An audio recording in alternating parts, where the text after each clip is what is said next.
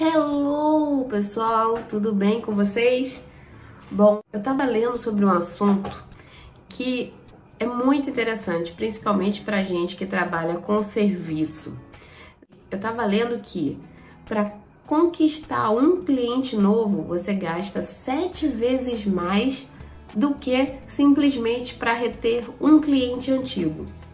Então, por isso eu decidi gravar esse vídeo aqui para vocês e eu vou dar hoje cinco dicas de como você realmente conseguir reter, manter sempre seus clientes sem ter que conquistar, captar novos a todo momento. Roda a vinheta aí primeiro.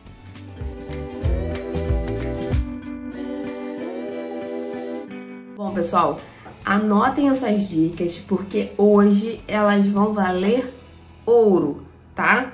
Só lembrando é, que ainda quem não segue ainda no Instagram, sigam lá, arroba Brilhando no Zelwa. Tem altas dicas lá que eu só dou no Instagram, não dou aqui no YouTube. Então mantenham-se sempre informados para não ficar para trás. Bom, sem mais enrolação, vamos lá para as 5 dicas para manter, para reter o maior número de clientes no house cleaning. Eu já dei há um tempo atrás umas dicas para manter clientes regulares. Aquelas dicas também são válidas, mas essa daqui tem a ver com marketing de serviço, que é uma retenção de cliente muito mais específica. Então eu vou dar uma atualizada nessas dicas para gente manter nossos clientes satisfeitos, sem necessidade de procurar novas empresas, novas cotações, tá bom? Então fiquem ligados. A primeira dica e a mais primordial é atendimento de qualidade. Bom, essa eu não preciso explicar muito, né? A gente precisa sempre ter o atendimento impecável. Não, não tô dizendo aqui que seu inglês precisa ser perfeito ou que você precisa falar de um jeito tal. Não, não é isso. O que eu quero que vocês entendam como atendimento de qualidade é sempre respeitar né, o tempo de resposta, a sua verbalização, né? Você pode não falar o inglês fluente, mas falar de uma maneira comunicável, né? Bem comunicável. Se atentar ao que o cliente está falando, deixar sempre o cliente expor o que, que ele está precisando, porque isso vai te poupar tempo e também deixar o cliente mais satisfeito, qualidade. Então, toda essa parte de atendimento ao cliente, tanto por telefone, por e-mail, por text, sempre dando a maior atenção para o cliente. Todo mundo gosta de ser mimado, então não vai ser diferente com a gente. A segunda dica, na verdade, a segunda dica vem em combo. Eu separei aqui programa de fidelização com e-mail marketing. Por que, que eu coloquei essas duas ah, no mesmo local? Porque elas se interagem.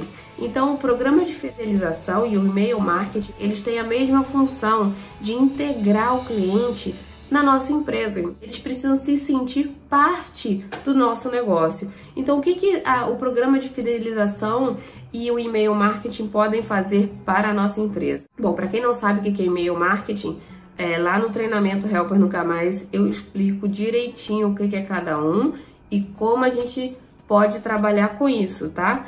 Se vocês querem mais detalhes disso, me avisem aqui nos comentários que eu vou uh, que eu faça um vídeo sobre, mas lá no treinamento já tem tudo explicadinho, mastigadinho de como fazer.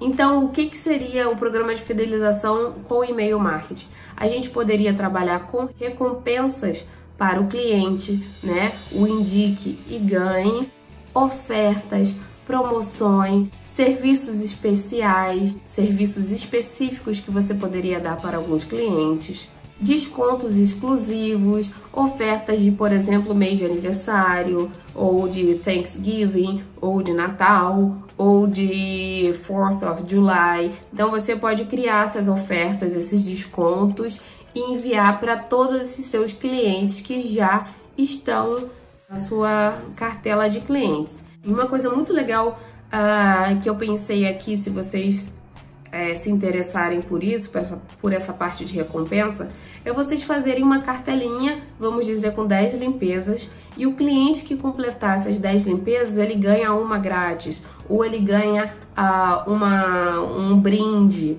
tá? Então é muito legal você manter essa, essa comunicação entre você, sua, o seu negócio e o cliente, para ele se sentir parte e realmente não fazer sentido para ele procurar outro negócio que não tenha tanto respeito e tanta atenção como o seu, como o seu negócio está dando para ele. Minha terceira dica é interações em redes sociais.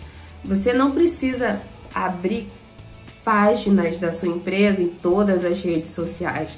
Se você consegue só organizar em uma, porque você tem pouco tempo, claro, por exemplo, que seja no Instagram ou no Facebook ou por e-mail, que você faça com muita com assiduidade, com muita continuidade essa alimentação dessa rede social. Então, se você for focar só no Instagram, que seja só no Instagram, mas que você coloque conteúdo, fotos, né, informações de qualidade lá. Se você puder em mais de uma rede social, ótimo. Mas se você não puder, você foca, tá, na, nas suas redes sociais. E eu vou dar mais uma dica aqui. Existe um aplicativo chamado Litex. Eu vou deixar aqui embaixo o, o nome para vocês e através deles vocês conseguem é, colocar os hashtags mais utilizados naquele, naquele tema. Então, se for o cleaning, ele vai usar os hashtags mais utilizados para o cliente procurar ou simplesmente para as pessoas te acharem através daquele hashtag,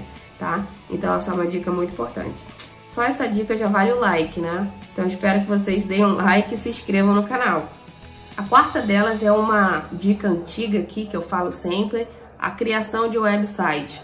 Além de todos os benefícios de um site, ele ainda consegue manter as informações fixas lá. Você não precisa, uma vez criado o website, você não vai precisar ficar entrando toda hora. As informações que você precisa que sejam fixas vão estar lá e você vai, por exemplo, as atualizações podem ser feitas nas redes sociais, pode ser feita no nos e-mails ou por text, mas as suas informações fixas vão estar lá como um mural online. Então é muito importante para o cliente, sempre que tiver uma dúvida ou quiser indicar para alguém ou quiser uma informação extra, tem seu site lá que vai estar tá já tudo tudo certinho para ele sanar esse problema que ele tem ou para ele te indicar, vai estar tá tudo lá. Então, essa é a importância do website no relacionamento entre você e o seu cliente. A quinta dica são aplicativos. Bom, hoje em dia a gente tem aplicativo para tudo e no nosso setor não vai ser diferente. A gente precisa usufruir e utilizar os aplicativos da melhor forma, né? A gente tem aplicativo para organização de schedule, que é o House Call Pro, vou deixar o link aqui embaixo. A gente tem aplicativo para captar clientes, né? Inúmeros, Amazon, Thumbtack, uh, Care.com, tem vários, né? A gente tem aplicativo para fazer pagamentos, para receber pagamentos, a gente tem aplicativos para enviar mensagens. Então, assim, a gente hoje em dia está rodeado de aplicativos e a gente tem que usar tudo isso a nosso favor para ajudar no nosso dia a dia e também do cliente. Então, não deixem de usar aplicativos por não saber usar. Se você não sabe sobre o aplicativo, procure saber, se informe, né? Teste. Você, a partir do momento que você aprende a usar, as coisas fluem muito mais fácil. Então, vai ser bom para vocês como negócio, vai ser bom para o cliente também, para ele se sentir interagindo com você e saber que você está realmente se importando com a facilitação, né, do dia a dia dele. Imagina, para pagar você ainda tem que. Não, só aceito dinheiro. Só... Gente, hoje em dia não dá. Você tem que ter, tem que dar todos os meios para o cliente poder te pagar e facilitar né, esse, essas coisas que são mais chatas uh, na relação entre cliente e empresa. Então, essa é a minha última dica. Espero que vocês tenham captado as informações. Não se esqueça de dar o like e se inscrever no canal. Até a próxima!